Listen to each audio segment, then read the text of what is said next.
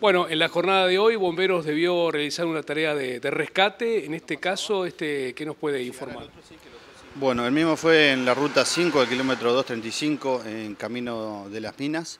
Este, el lugar, el acceso hacia a donde debíamos hacer el rescate era medio complicado, así que tuvimos el apoyo de la Fuerza Aérea, este, trasladándonos en la parte de, uno de los arroyos que estaba inundado con el, con el camión de ellos, llevando el gomón nuestro, este, hasta llegar al otro arroyo que también desbordado por, por las aguas, este, donde se encontraba eh, un camión eh, militar de la Fuerza Aérea este, con tres personas en su techo.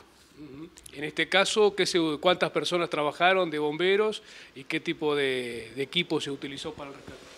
Bueno, nosotros usamos los equipos neoprenos nuestros, el, el, bote Gomón, este, y éramos tres tripulantes en el bote, este, con motor de fuera a borda, ¿no? Este, bueno, alojamos eh, con apoyo de ellos también de la Fuerza Aérea, llegamos a, donde estaba la, gente, eh, arriba del camión, eh, el agua estaba muy crecida, fuerte, corriente, ¿verdad?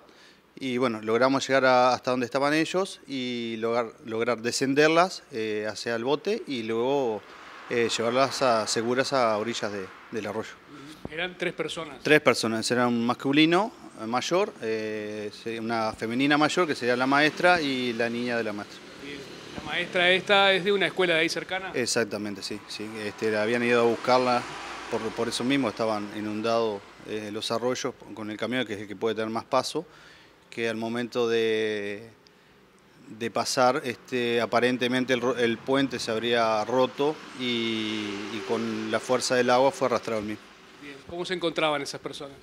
Eh, estaban bien, anímicamente estaban bien, con un principio de hipotermia, este, pero bien, por suerte están fuera de peligro y salió todo bien, gracias a Dios. ¿Fueron trasladadas por helicóptero por parte de la Fuerza Aérea? Exactamente, después que las, eh, las mismas fuimos eh, arrimadas hacia la orilla del arroyo, este, personal de la Fuerza Aérea las trasladó en, el helicóptero.